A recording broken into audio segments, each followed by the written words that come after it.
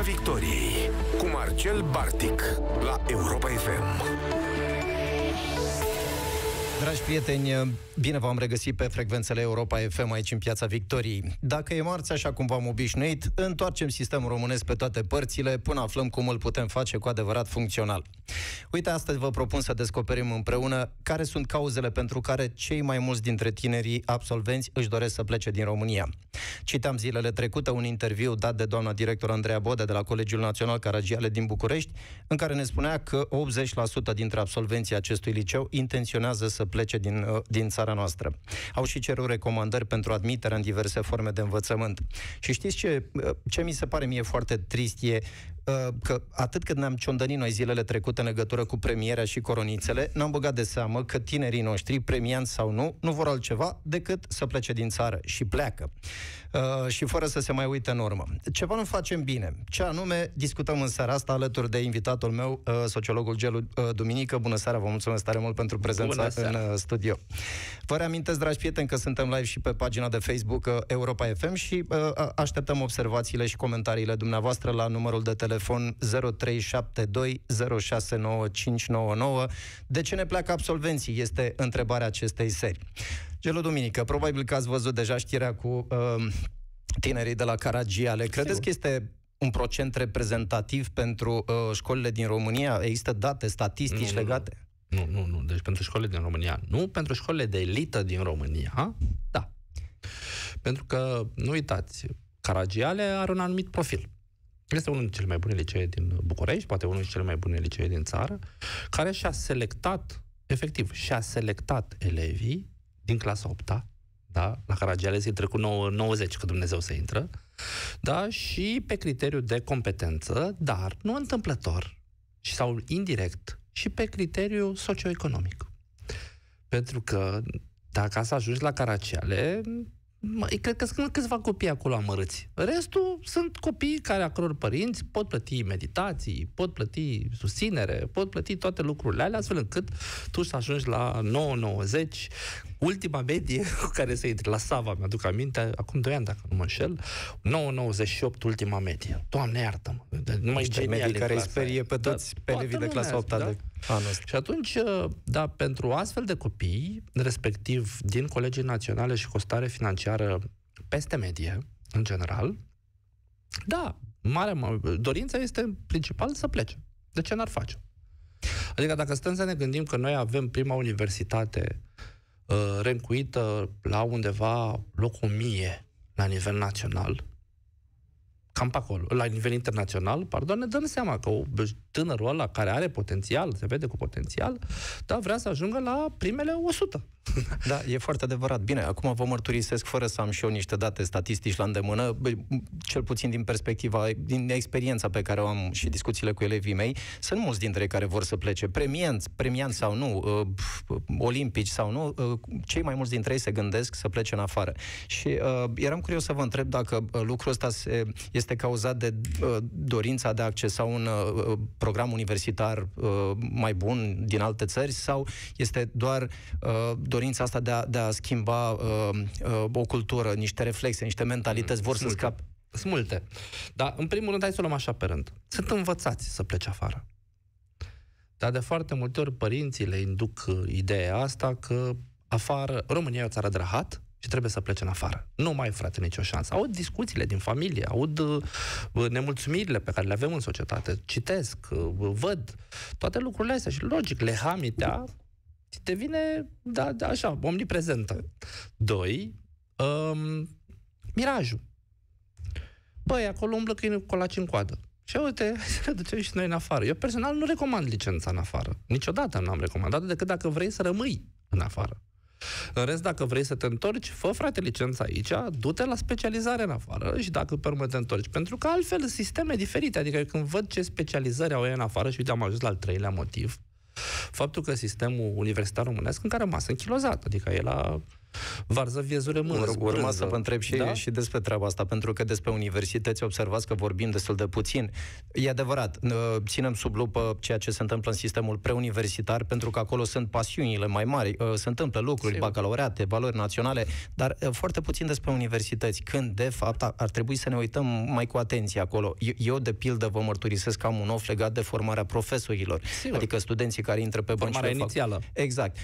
Studenții primesc, au, au parte mai degrabă de, nu știu, iluzia unei cariere în cercetare, când știți foarte bine că un număr foarte restrâns dintre studenți va ajunge în, în zona de activitate. Cei mai mulți dintre mai ales vor, în România. Mai ales în România. Cei mai mulți dintre ei vor ajunge la catedră și nu sunt pregătiți pe parcursul celor 3 sau 5 ani. Uh, Aia, dar... Uite, întâmplător, cei mai mulți dintre ei nu ajung nici la catedră, da, pe conform de cifrelor. Cei mai mulți dintre ei uh, ajung să profeseze într-o meserie care nu are legătură cu domeniul lor de specialitate, de foarte multe ori. Da? Foști colegi de-ai mei de facultate uh, vând papuci în piață, la modul propriu, da? Aia e. Ce să facem? La urmă, urmii, uh, asta ne-a învățat facultatea. Pentru că la noi uh, universitatea, studiu, educația în general, e un scop în sine. Trebuie să ai o diplomă, bă o să-ți trebuiască diploma în viață. Bă, scuză-mă, nu-mi trebuie neapărat o diplomă dacă nu și învăț meserie, dacă nu și am loc să practic. Și atunci atunci am ajuns la punctul 3, specialitățile. Cei din afară s-au adaptat foarte mult la piața existentă și acolo există o conexiune destul de puternică între mediul academic universitar de educație și piața muncii. La noi nu prea. Da? Noi încă am rămas la industria materialelor așa cum se făcea acum 30 de ani. Da? Uh, și patru, programele astea de hai, și mă am dus doar în zona educație, de, de internship, da, pe care, dezvoltare profesională academică, în adevăratul sens al cuvântului. Toate astea puse peste cauzele pe care fiecare dintre cei care au plecat le are. Da? Adică vreau o viață mai bună, Vreau o țară ca afară, vreau politicieni care să mă respecte, vreau un standard de viață mai bun și așa mai departe. De aici ajungem din nou la punctul 1. Așa au fost învățați. Da? Adică, din păcate, e, nu, e normal să plece, dar să rămână să ce? Da? Pentru că liberul arbitru funcționează și în momentul în care ai de ales, Doamne iartă-mă! E adevărat, dar pe de altă parte ă, nu, nu pot să nu observ că printre mulți dintre profesorii și părinții din ă, România există așa niște convingeri foarte puternice. Păi cum, domne, e minunat ce facem noi aici, noi e, suntem perfecți. Păi uite câți olimpici avem noi, dar câți premianți, apropo de dezbaterea de săptămâna trecută cu premianții și coronițele și... Eu am auzit chiar un fost ministru, respectiv domnul Fâneriu, da, am citit declarația domniei sale de pe pagina de domniei sale de socializare, în care, printre altele, spunea că, domnule, dacă un elev are sub 6 și la acest uh, examen de PAC, e vina părinților. Și am zâmbit amarnic, da? Pentru că n-a, n-a venit, știi, ideea asta din partea logică de la sculărie. Unui fost ministru al educației. Fost ministru al educației, care nu înțelege nici acum, da? Ce înseamnă societatea asta românească că marea majoritate a instituțiilor din educație din România sunt locuri de depozita copiii și nu din vina părinților. Că, din păcate, nu reușim să atragem încă profesori foarte buni, că avem mari probleme cu formarea inițială, cu formarea continuă, cu toate lucrurile astea. Că pandemia a aruncat sute de mii de copii în afara școlii din nou și așa mai departe. Și, bă, știi, în momentul în care zici, bă, nu performezi, păi tu ești de vină, mă, tu și cu tactul.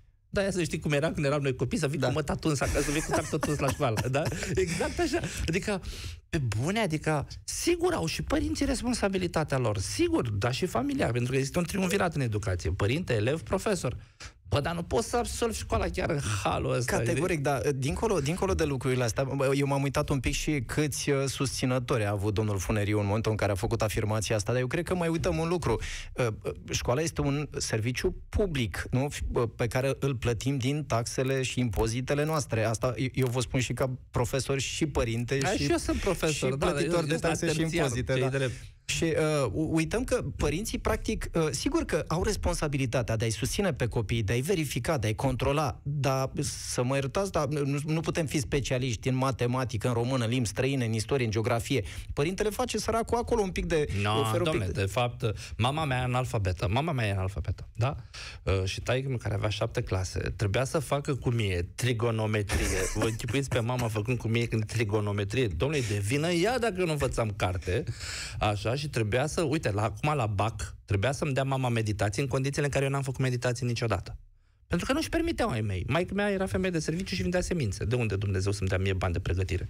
Însă dacă eu luam sub șase, și apropo, la română scris, am luat sub șase, da, a căzut un subiect, atunci nu o să-l uit niciodată. Drama cunoașterii Vasile, în lirica lui Vasile Voiculescu și Lucian Blagă. Eu, care eram olimpic, m-am uitat la el și, și am înțepenit. Și am zis, de unde îl iau? Da, noroc cu subiectul 2, da, care a fost tinerețe fără bătrânețe. Deci n-ați luat, n-ați luat coroniță în Am anul luat ăla. 5 E la, clar, 5 gata. la română scris. Deci pe bune, 5 la română scris am luat. Am luat 9 și la română oral și peste 9 la celelalte. De am avut o medie decentă. Da? În rest eu am luat 5 la română scris. Da? E, în accepțiunea domnului uh, Funeriu, mama mea trebuia să-mi dea meditații la uh, da, drama cu noare știrii lui Vas- lirica lui Vasile Voiculescu și Lucian Blaga. Vă dați seama, mama mea, când vindea semințe acolo în față la combinat, să fi zis, mămică, știi tu cum e cu Vasile Voiculescu? Să-ți explic eu, frate. Da? Mâncat mama de băiat. Da? da? Adică, aberant. Societatea românească este destul de diversă în condițiile în care aproximativ 40% din România da, trăiește în, deprivare, ma- în risc de deprivare materială severă. Dar asta poate mai învață și politicianul român. Da, da, pe de altă parte să știți că tot zona aia societății românești invocă faptul că avem olimpici, nu? Adică 2%, vorbeam da, mai sigur, devreme. sigur, Păi da, dar 2%. olimpicii ăștia I-au sunt bătut pe mântria tine, ești, țării. băiatul. Sunt, nu se poate. Deci ăștia arată cât de buni suntem. Observați că întotdeauna uh, oamenii ăștia vorbesc la plural. Suntem. Uh, a luat uh, uh, sportivul uh, Popoviciu zilele astea uh, locul Mă, întâi la natație. Mai Am devreme, luat cu mai toții. devreme a scris o chestie și Cătălin cu gingășenia pe care o are mi-a atras atenția, vezi că nu-i chiar așa, dar în care eu, spre exemplu, spuneam, bă, până ieri de Popoviciu nu s-a spus nimic. Mm, ah, bine. Da? Uh, Dăm noi și noi la TVR chestia asta. Nu o dăm, mă, ce dracu, nu face rating, sunteți proști la cap, lăsați-o dracu. Noi să dăm din Parlament. Ca aia face rating. Da, bun, extraordinar. Da? Astăzi, toată lumea cu Popoviciu pe buze. Da? Poze, leșinături. Bă, dacă e și locul 4, nu mai era toată lumea cu el pe buze. Apropo, da? Uh, și eu am spus greșit, în mod renat, după ce am a corectat Cătălin, m-am uitat și, și eu și avea Cătălin perfectă dreptate, că, bă, statul român nu a făcut foarte multe. E, În cazul ăsta, chiar a făcut, după Olimpiadă, chiar a făcut. I-a dat un salariu mai mult decât decent, i-a dat condiții și așa mai departe. Ceea ce arată că în momentul în care se investește, pot, apare și rezult, pot apărea și rezultate. Noi, în schimb, nu investim sau investim difuz. Adică, dacă te uiți așa, știi, știi na, ești profesor, știi mai bine. Legea Educației Naționale, alocarea per capita. În principiu, noi dăm aceeași alocație la copii- toți copiii. Am studiat chestia asta, am scris despre chestiile astea. În realitate, nu e așa. Colegiul Național, uite că tot am dat caragiale, are în general profesori titulari, da, gradul 1 didactic, doctorate, care sunt pe plafonul maxim de salarizare. Uh, Colegiul uh, energetic, liceu energetic din Ferentari, Ăla nu are profesor titular gradul 1 în aceeași măsură, da, care are... Ăla are și uh, suplinitori mai mulți. Logic, e liceu de ghetou. Ăla nu poate să cheltuie banii pe salarii pe care are. În schimb, Caragiale are nevoie de bani mai mulți. De unde ia? Fix de la liceul la mărt. Da, pe redistribuire. Și atunci, în loc banii să rămână la liceul ăla, amărât, să poată să-și aducă specialiști, să oferă în plus copiilor, cine ia? Tot liceul la bogat. Da? Adică lucrurile stau într-un fel atât de inechitabil în sistemul ăsta, încât prin ochelarii inechității, noi vedem 2%, dar nu vedem 40 și ceva la sută care sunt analfabeti funcționali. Păi da, da, Voi simt- vă dați seama, 2%, 40 și ceva la sută. Aceleași cifre, aceeași sursă. Însă ăia 40 și ceva la sută dă de na- e, e ceva nașpa, măi, de rușine. Vă aduceți aminte că noi ne băgam musafiri în camera aia bună în care era curat? exact. În restul putea să cadă toate, aruncai toate rufele acolo. Când îți vin musafiri, încă mai avem da, reacțiile astea când vine cineva la noi să facem curat, frate. Și intrăm toți în vrie să vadă ăla că e bine, să nu ne facem de râs. Da?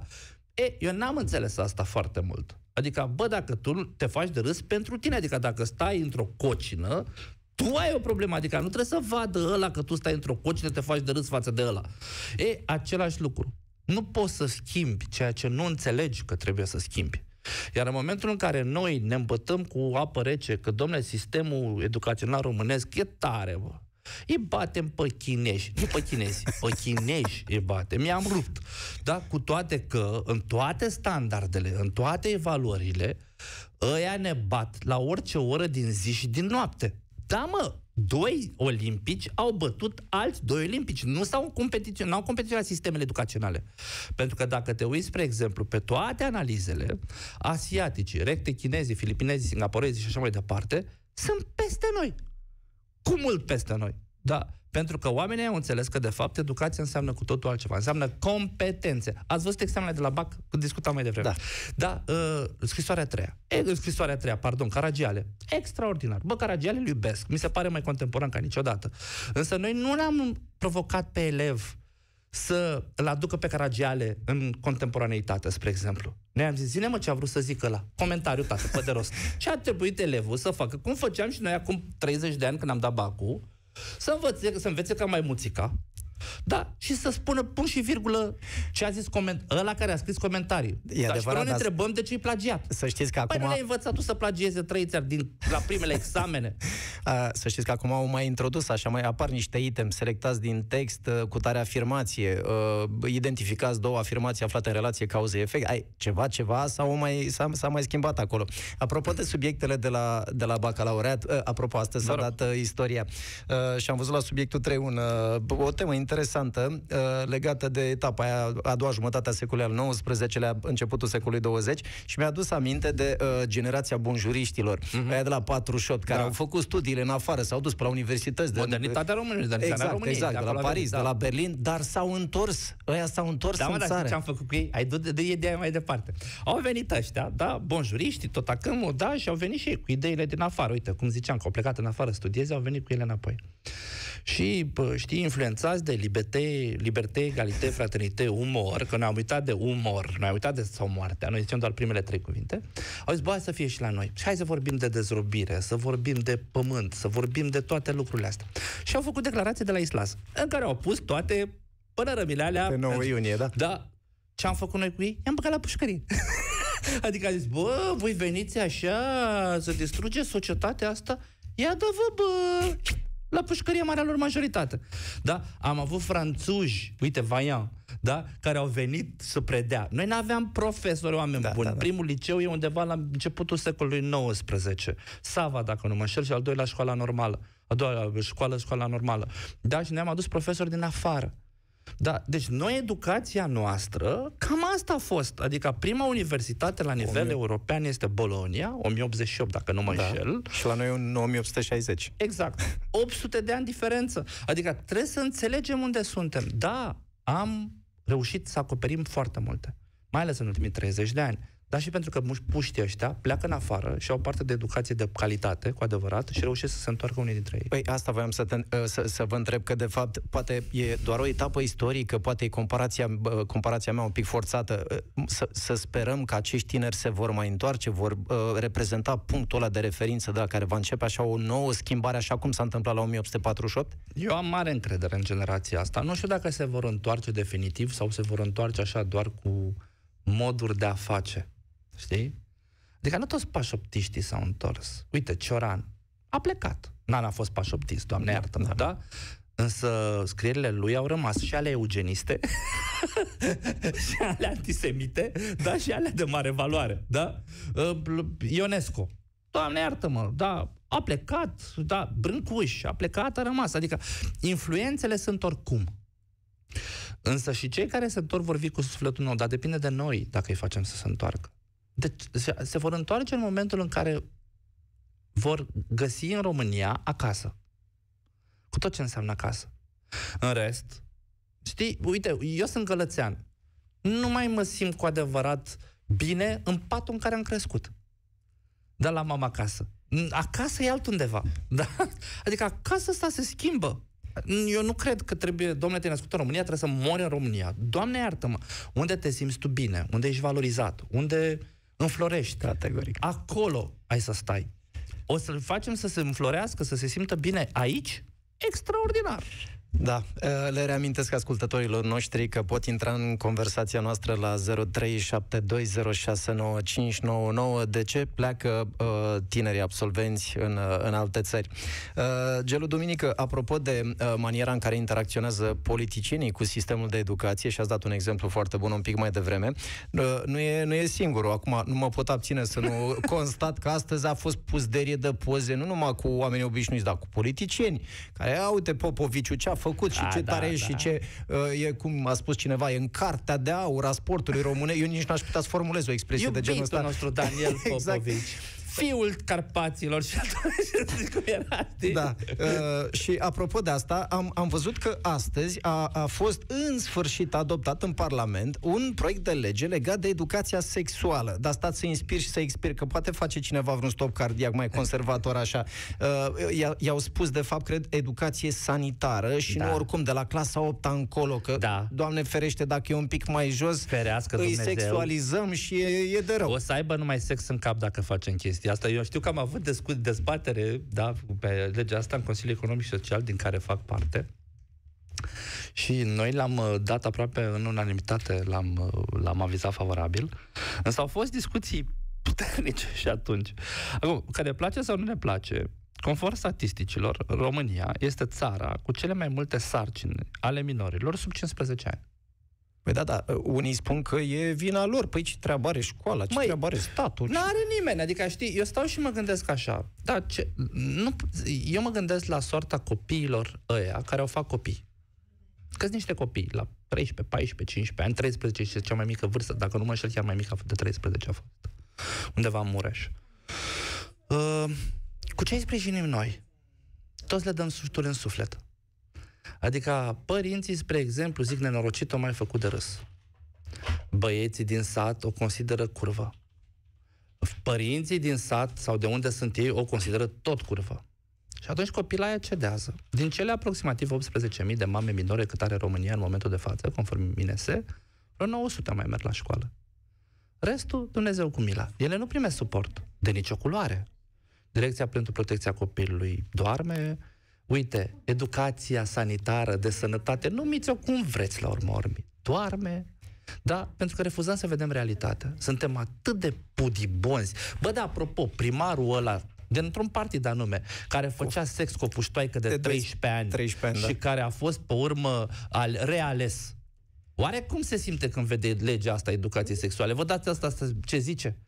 Asta da. e societatea. Uh, suntem în direct cu ascultătorii noștri, revenim că la, la povestea asta cu educația sexuală nu, deci nu mai pot, de, trebuie neapărat să o, să o dezvoltăm. Uh, suntem în direct cu uh, uh, un, unul dintre ascultătorii noștri, ne spune el dacă vrea cum îl cheamă sau nu. Bună seara! Sunteți alături de noi în bună Piața Victoriei. Seara, bună seara! Mă bucur că invitatul dumneavoastră este un sociolog, dacă nu mă înșel, da? Sigur, da. Sociolog.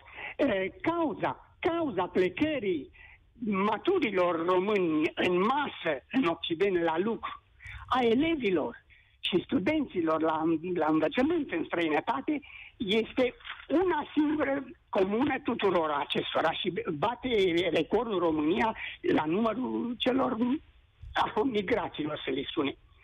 Cauza este următoarea. Aș vrea părerea sociologului dacă, dacă îmi confirmă sau îmi infirmă.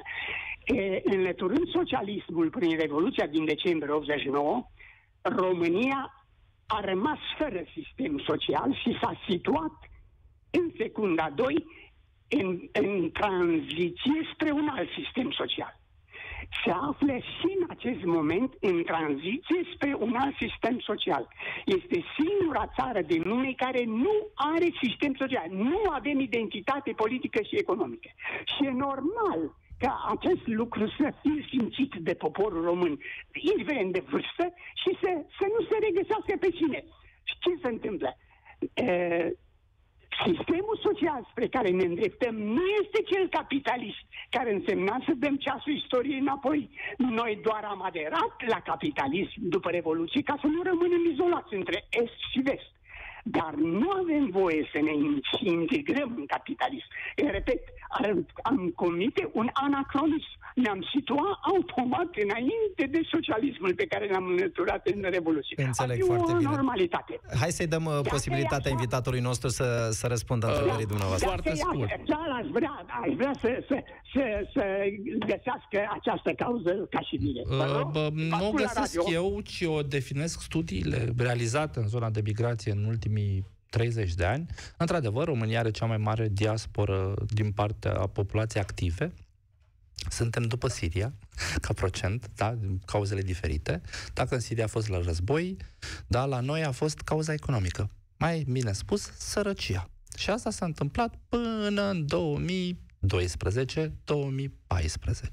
Din acel moment au f- început să plece și middle class da, și upper middle class Și acolo a fost mai degrabă, hai să zicem așa, calitatea vieții. Oamenii și-au dorit, de fapt, școli mai bune pentru copiilor. Și-au dorit spitale mai bune. Nu că nu trăiau bine în România, nu că n-aveau casă, ci pur și simplu își doreau mai bun. În prima fază, repet, sărăcia. Mulți au plecat să-și bă, repare casa și uite, când făceam în 2001 uh, 2002 uh, interviuri cu migranții din Italia, da, mulți îmi spuneau că s-ar întoarce acasă dacă ar primi un porc pe care să-l taie să-l mănânce cu familia lor. Pe cuvântul meu, de onoare. 2001-2002, da? Pentru că oamenii erau bă, la limita sărăciei. Pentru că la mig- migranți români au fost și cei foarte bine educați și pauperii, ambii cu aceeași motivație. Cu aptitudinile lor puteau câștiga mai bine. Și cerșătorul și doctorul. Da. Angela este uh, alături de noi. Bună seara, Angela, te ascultăm. Dacă poți da aparatul de radio un pic Da. mai încet, ca să ne Bună auzim. seara! Îl salut cu bucurie pe domnul, domnul sociolog.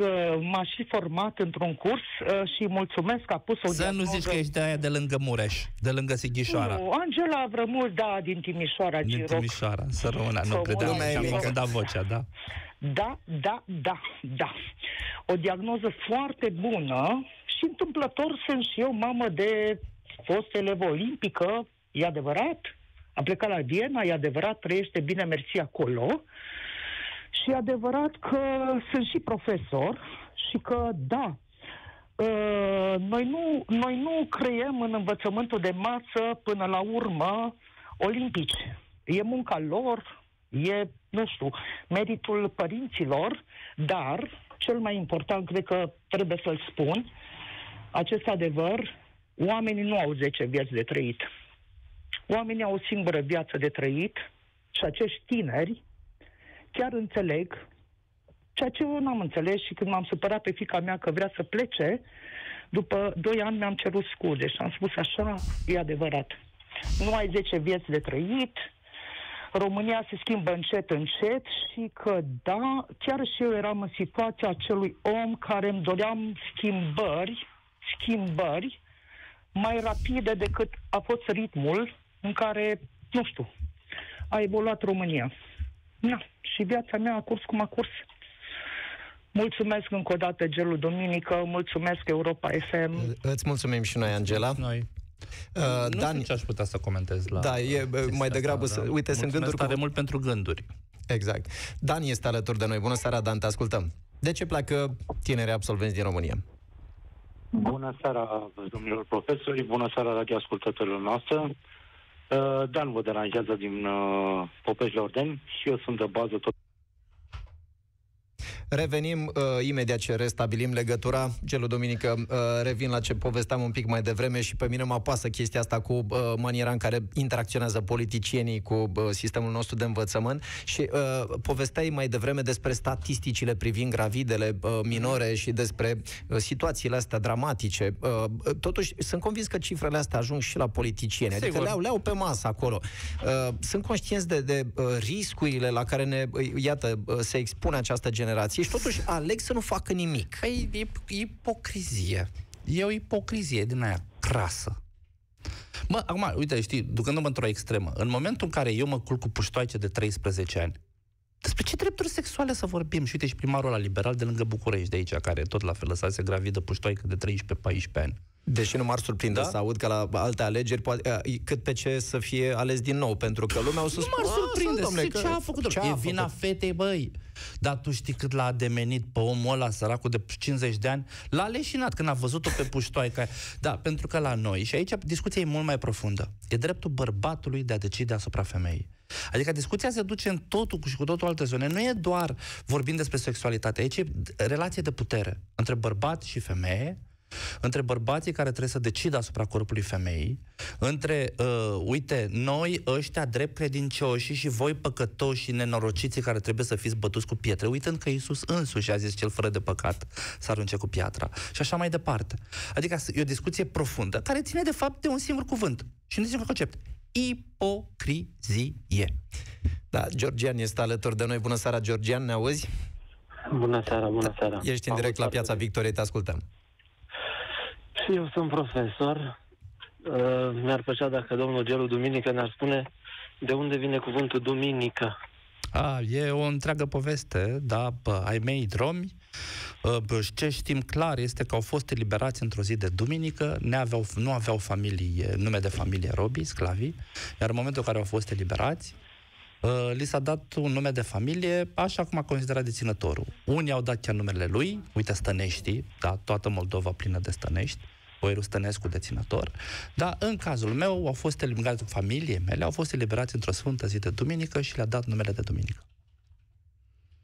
Da, îți mulțumim, Georgian, pentru, pentru întrebare. Uh, cred, că, cred că suntem, uh, suntem în direct cu nou ascultător. Bună seara, Dan.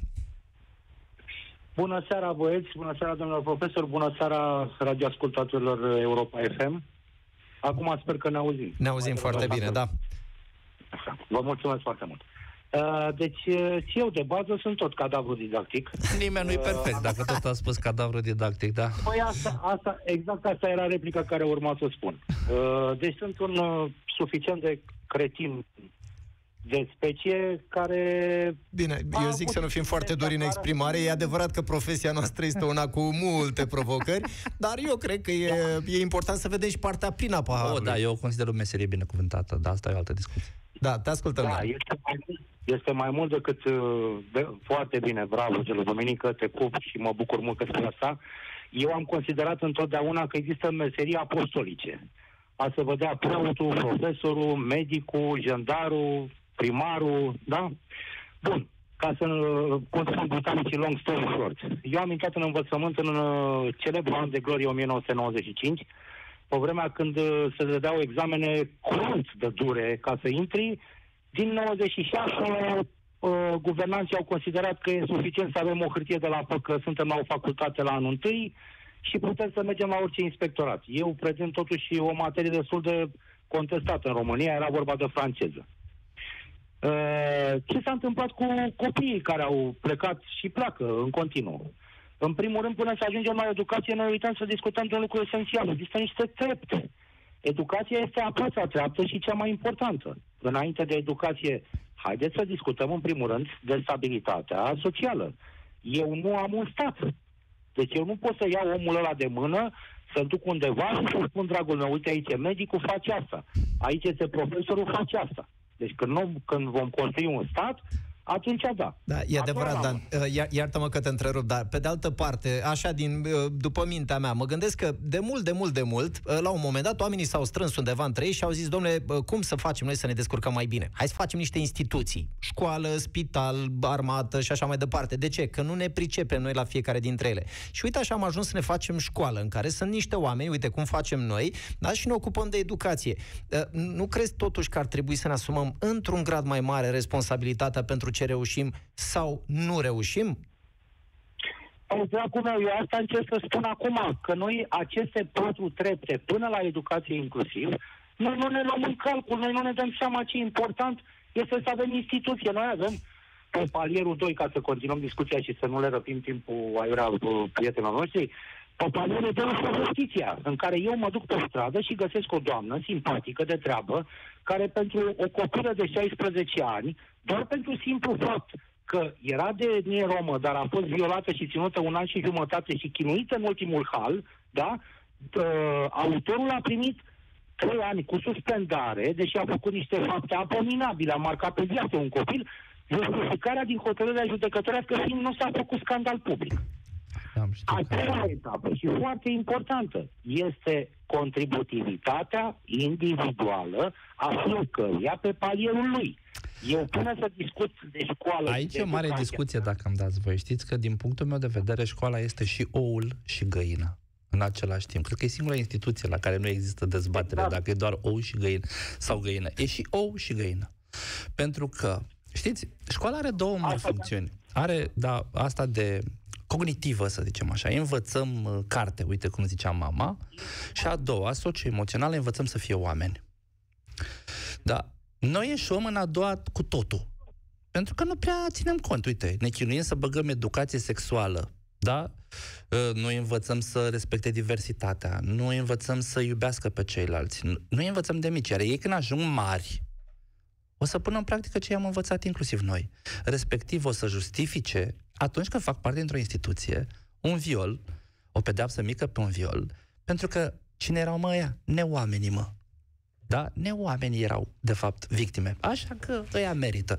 E, e foarte mult de discutat pe subiectul ăsta și cred că ne-ar trebui vreo 10 emisiuni. Da, Dan, îți mulțumesc tare frumos pentru, pentru telefon. Uh, Gelo Duminică, mai avem foarte puțin, 30-40 de secunde și aș vrea să-mi spui dacă, nu știu, uh, după toate veștile astea, uh, mai putem privi cu optimism așa viitorul? Eu sunt foarte optimist, pentru că eu știu ceea ce se întâmplă la mine la sală, da, comparativ, eh, când mă uit la studenții mei, cum intră în semestru și cum ies din semestru. Cunoașterea, mitul peșterii, Platon. E, e important ca să iluminăm. Da, în regulă. Îți mulțumesc tare frumos pentru discuția din seara asta. Uh, Dragi prieteni, ne reauzim săptămâna viitoare. Toate bune! Piața Victoriei cu Marcel Bartic la Europa FM.